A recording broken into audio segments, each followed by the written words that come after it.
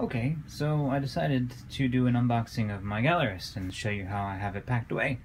Um, honestly, it's nothing too special, but I don't know, maybe some of you will find it interesting. Alright, let's see what's inside. Alright, I love this game. You know, Vinhos just came out. Vinhos is beautiful, but uh, Gallerist has a special place in my, in my heart. Instruction manual. Player boards. I love these player boards so much. And then we have the player aids. Board. Very nice little plastic sheet here. And as you can see, it's, it's pretty straightforward how you're supposed to put things away, specifically the different paintings and the different works of art. Um, over here I have the artists. As you can see, they're all mixed up. You always shuffle them. And, uh, you know, just enough room to put your extra tiles here. Never got around to making art. Maybe one of these days I'll put my art in there. Or someone I really like. Signature tiles, artist bonuses. They just kind of slide in there and they keep these propped up straight all the tickets. Put all the tickets in the bag. This is tickets. That's the best way to do it. All the players' pieces, all four of them right here in this little pocket. Easels. Have this guy, which we kind of use for whatever.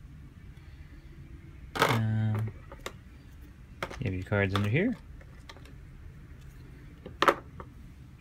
And here I'm lucky enough to have both an Evil Eagle-Gryphon bag and a Gallerist bag because like Gallerist so much I decided to spend a lot of money on it and get the, the bonus packets packages separate. So yeah, basically I just have the visitors in here. Uh, during setup, probably before you get put the visitors in here, it's probably best to put the bonus tiles and the reputation tiles, just kind of give them a shake, and it's a good way to just distribute them randomly when doing setup. Got your fame markers right under here, and you know, celebrity, and my little th thumbs ups here. It all fits pretty snugly. And uh, so yeah, visitors in the Gallerist bag and Eagle-Gryphon bag is where I keep all the money, cause us, cause they like money. no, I'm not kidding, I'm kidding. All right. Well, that's all for my Gallerist unboxing. That's what it looks like on the inside. In case you're looking at this for the first time, who knows.